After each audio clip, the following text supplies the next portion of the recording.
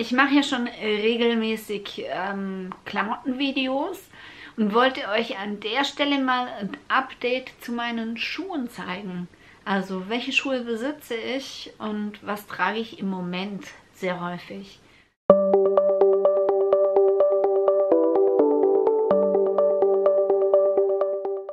Hallo, ich bin Coco vom Kanal Die kleine Coco und ich zeige euch heute meine Schuhe.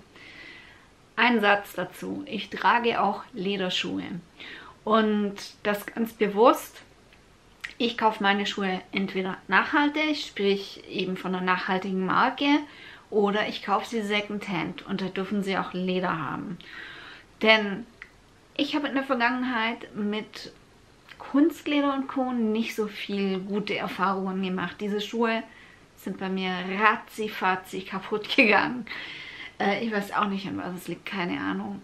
Und wenn etwas schon auf dem Markt ist, denke ich mir halt, oder entspricht es meinem Ideal, dass ich sage, gut, Secondhand, Leder okay, ähm, neu auf keinen Fall. Also ich kaufe niemals neues Leder mehr, auf keinen Fall. Das ist mir schon wirklich wichtig, dass ich dann darauf achte, Secondhand zu tragen. Ich würde einfach sagen, ich ziehe die Schuhe an und sage ein, zwei Sätze dazu. Also seht ihr nur noch meine Füße. So, schwarzes Stiefelchen Nummer 1. Der hat da so eine Wildlederoptik. Keine Ahnung, ob es Leder ist. Ich denke nicht, weil auf Lederschuhen äh, ist meistens immer so ein Lederzeichen drauf. Da ist nirgendwo eins zu finden. Also wird es mehr so Kunstleder sein wieder. Ähm, das ist so ein, so halbes Chelsea Boots Teilchen, weil hier auf der Seite ist ein Reißverschluss. Ähm, hab gemerkt, das war vielleicht nicht so der positive Kauf. Da hat einfach der Preis wieder gezählt. Bei sowas muss ich echt immer aufpassen. Ich glaube, er hat einen Zehner gekostet oder so.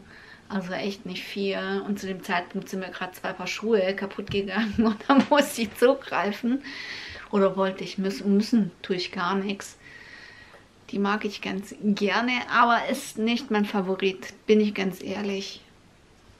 Der Schuh schon eher. Das ist äh, der äh, Rika Boots. Oh, die hätte ich mir auch nie im Original gekauft im Laden. Niemals. Das ist nicht gerade ein Laden, wo ich Klamotten kaufen würde, aber gut. Die äh, finde ich gerade zu der Hose, die ich heute anhabe, mega, mega rot. Die sind bequem, waren am Anfang ein bisschen eng. Sie liegen wirklich extrem straff am Fuß, aber so sollten äh, Chelsea Boots ja auch sein. Trage ich gerade echt ununterbrochen. Ich mag die, aber wenn es halt glatt ist, kannst du die nicht anziehen, weil die haben halt kein Profil und da rutschst du halt wirklich aus. Wenn es kalt ist, kommen die dran. Da sieht man, die haben Profil. Die sind von H&M oder so ich glaube H&M. Die sind dicker, äh, mit Fütterung. Die kannst du halt echt nur anziehen, wenn es kalt ist. Ähm, große Liebe, so von der Schuhart, also vom, vom Runden her mag ich so runde Schuhe lustigerweise mehr als so längliche. Wobei ich mir eben an den Rika Boots jetzt auch echt äh, gewöhnt habe. Die mag ich echt gerne. Auch die mag ich gerne, aber wie schon gesagt, die kommen halt wirklich nur zum Einsatz, wenn es echt kalt und rutschig ist. War es dieses Jahr noch nicht so. Der Schuh war schon x-mal, wirklich richtig oft war der beim Schuhmacher. Aber die haben mich damals halt auch schon 400 Mark gekostet. Und zum damaligen Zeitpunkt war das echt mega viel Geld. Aber ich musste diese Schuhe haben und es hieß, je älter die werden, desto mehr Charakter kriegen sie durch die ganzen Falten. Das sind wie gesagt Lederschuhe. Ähm, ich weiß, dass ich die mal in einem alten Video von mir hatte und äh, ich da immer wieder angeschrieben wurde, ob ich die Schuhe verkaufe. Äh, nee, natürlich nicht. Ja, die habe ich jetzt nicht ganz so oft mehr an, äh, um die Schuhe zu schonen, lustigerweise.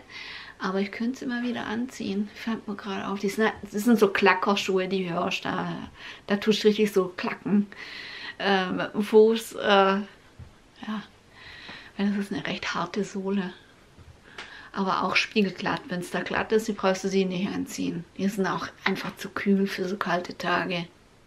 Die mag ich auch echt mega gern. Ähm, Marco Tozzi ist die Marke oder so, die kenne ich so gar nicht. Ähm, die sind aber überhaupt nicht wasserdicht. Wenn es da regnet, kriegst du halt mega nasse Füße. Ist auch Kunstleder, weil wie gesagt, das ist eher ein Stoffschuh. Ähm, die habe ich auch für 8 Euro oder so geschossen. Also mega günstig. Überhaupt die ganzen Schuhe, die ihr jetzt gesehen habt, die haben alle so um die 15 Euro gekostet, nicht mehr. Und ja, Stiefelchen, äh, da neige ich dazu, äh, nicht Nein zu sagen. Wobei ich jetzt schwarze echt keine mehr brauche. Wie ihr gesehen habt, vier Paar reicht schon. Aber die hier, die mag ich wirklich echt gerne.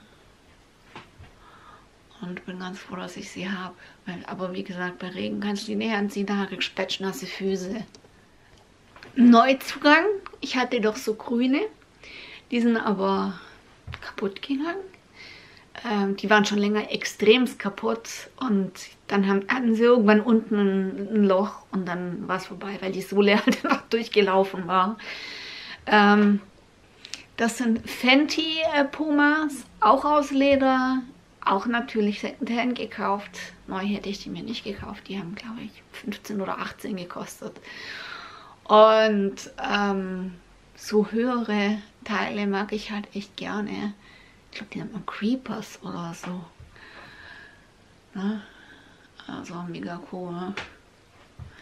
Und die werden von mir jetzt auch kaputt getragen. Weiß ist natürlich immer so ein bisschen ungeschickte Farbe, weil das zieht Schmutz an, aber da bin ich jetzt so. Also die müssen bei mir nicht hundertprozentig sauber sein. So, mein letztes Paar. Die sind allerdings hart kaputt. Man sieht's.